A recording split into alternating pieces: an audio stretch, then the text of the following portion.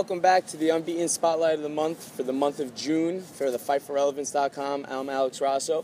For the month of June, we decided to choose Mr. Damiano Camarata.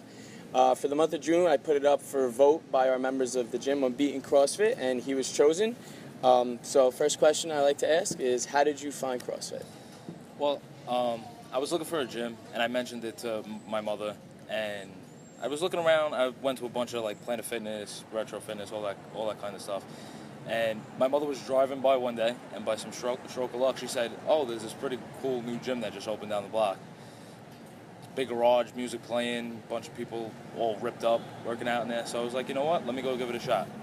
I went. I met with uh, Pam and Ryan. They did my intro class, and the rest is history. Cool. Um, so you came in super overweight, correct? Uh, what was the weight that you were at when you came in? 310. So 310 Yeah. pounds. So what has CrossFit done for you, including the weight loss? Like, what has it brought you to? Your the weight that you're at now, um, how you live your life, your habits, all these different types of things.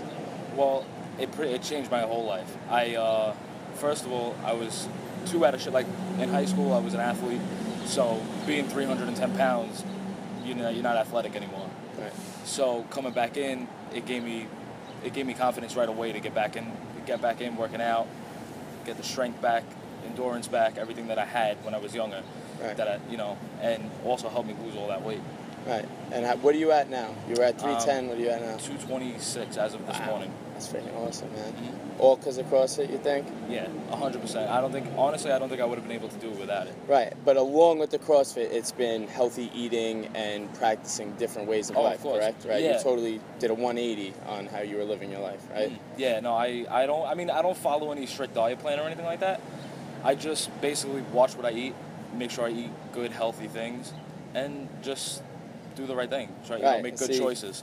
That's what's so vital about CrossFit is that at the bottom of our pyramid of our sport is nutrition. And right out of his mouth, the guy was 310 pounds. All he says is that he just practices some good eating habits, not even a strict diet. And with the help of CrossFit, it helped him lose almost what? Uh, 90, pounds? Yeah. It's incredible. And you mentioned being an athlete. So, what was your background prior to CrossFit? Uh, I know you said you were a football Mm-hmm. player, right? Well, uh, all through high school, I played football. Uh, I was very good at it, actually. Just too short to go anywhere with it. Right. And then uh, after high school, I just completely, once I didn't have football anymore, I just decided to focus on school and So work. football kind of, you were out of shape, but it kind of held you into that, like into shape in a way. Like, Yeah, no, I was like you were right at the edge, but that was holding you there from going overboard. I was definitely I was yeah I was 250 when I played football, but I was an athletic 250. right. And you know like I would watch what I ate and stuff like that. And once football ended and I didn't have football anymore, I didn't really you know like I relaxed a little bit and I didn't really care So like, much. what was the uh, time gap between football ending Mhm. and finding CrossFit?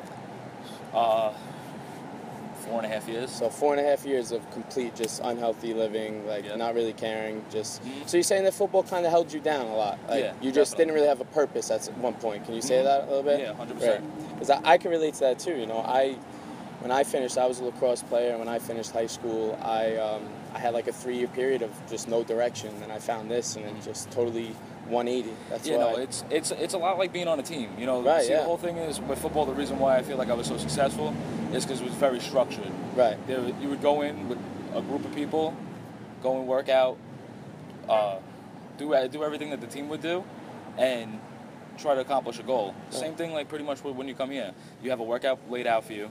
You have a bunch of people that you're gonna see every day working out, pushing you.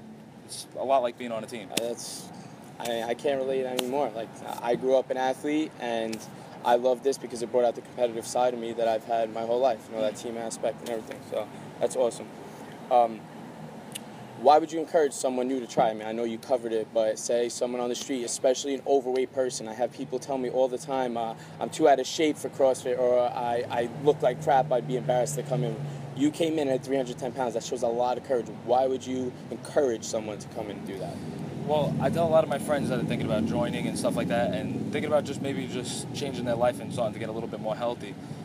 Especially with CrossFit, if you if there's things you can't do, like I, I came in, I couldn't do probably 90% of the things that we were doing, but the coaches, you know, took it, broke it down for me, made it simpler, gave me things that I could work on to get myself to that point to Right. where I could do Right. everything that I, am able to do now. Right. So you don't have to come in being a top of the line athlete. You can come in being 310 pounds and work your way up to that. All right. Awesome. Good stuff.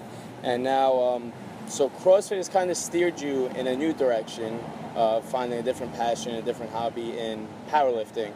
Um, so you qualified for nationals. That's coming up when? That's in October. So I mean, I don't. I see you do. I know. I see that you still train in CrossFit, uh, kind of a lot. Yeah. But you're more on the powerlifting side. So what has that been like? Um, do you thank your powerlifting success to CrossFit or to maybe your history?